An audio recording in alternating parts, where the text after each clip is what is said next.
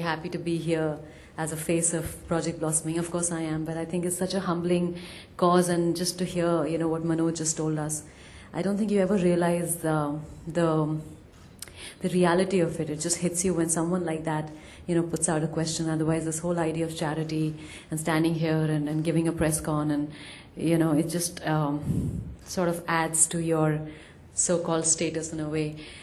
But um, I think it's such a great uh, cause, um education of the girl child, especially because I think when you educate a, a woman, a girl child, she affects a lot more lives.